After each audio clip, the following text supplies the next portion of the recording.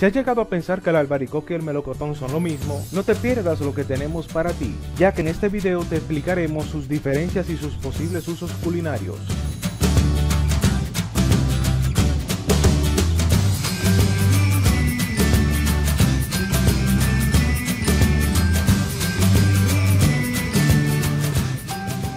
Dentro del amplio espectro de las frutas nos podemos encontrar con algunas que forman parte de la misma familia y que comparten una serie de características en común. Un caso bastante típico es el albaricoque y el melocotón. Ambos alimentos tienen semejanzas pero también diferencias.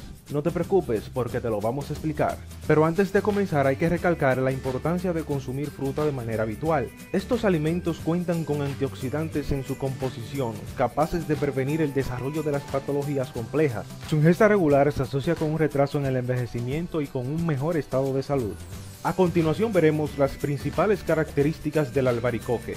El albaricoque es una fruta que destaca por su contenido en vitamina A, nutriente que ha demostrado ser esencial para mantener una buena función ocular. Se trata de un alimento que se puede consumir fresco entre los meses de mayo y agosto.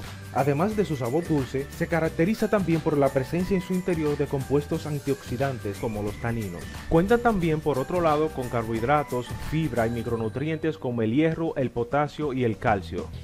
Ahora veremos las principales características del melocotón. El melocotón, a pesar de ser también una fruta de temporada estival, cuenta con un sabor semiácido como la fresa. Es más pequeño que el albaricoque y su parte exterior es más rugosa. Lo más recomendable es consumir esta fruta fresca y cruda. Este alimento destaca por su contenido en vitamina C, siendo este un nutriente esencial para estimular la síntesis de colágeno, según una investigación publicada en la revista ortopédica de medicina deportiva. Es necesario que recuerdes que esta proteína es la más abundante en el cuerpo humano y la responsable de la elasticidad de los músculos y de los tendones. A pesar de su sabor dulce, el melocotón presenta un contenido en carbohidratos bastante alto así como destaca también por la presencia de fibra en su interior. Esta sustancia ha demostrado ser esencial para evitar el estreñimiento y las dolencias de tipo gastrointestinal.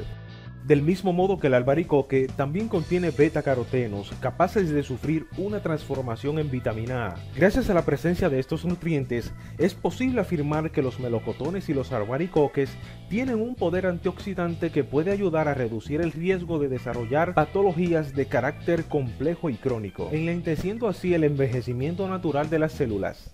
A continuación veremos los usos culinarios del albaricoque y del melocotón. Aunque la recomendación es consumir ambas frutas frescas al natural, es posible elaborar diferentes preparaciones culinarias con ellas. Entre dichas preparaciones, en primer lugar, se encuentran las mermeladas. Dichas mermeladas suponen una excelente forma de conservar dichas frutas, ya que se elimina la oxidación y el riesgo microbiológico en ellas gracias a la adición del azúcar. Sin embargo, se trata de un producto que no se puede consumir con asiduidad debido a su impacto sobre la salud metabólica.